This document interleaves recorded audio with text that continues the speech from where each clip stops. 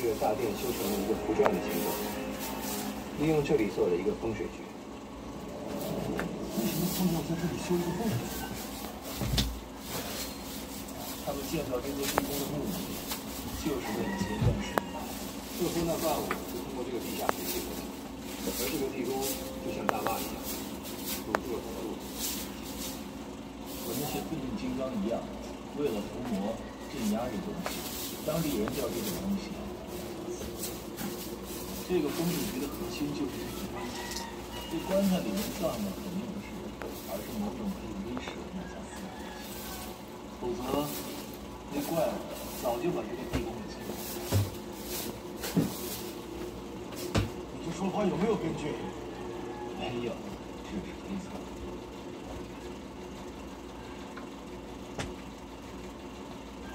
推测是不是对？打开看看不就知道了吗？你敢开关，就别想拿到下一个钱。大家看我发现了什么？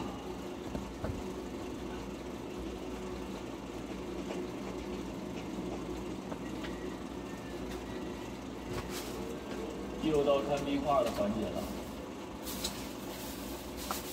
这对方说了些什么？南越人在一个缝隙里发现了他们的古神耶摩罗被杀死，将他带回村子。晚上，所有人都开始做梦，梦到耶摩罗在跟他们沟通。耶摩罗告诉他们，自己是被一个叫纳加斯的武士偷袭杀死的。耶摩罗不甘心这么死去，想要报仇。他要南越人来到纳加斯的老巢，在纳加斯种上修炼的时候，趁机修自己的地宫，并把自己的尸体放在地牢中，让纳加斯以为自己在这里伺机而起。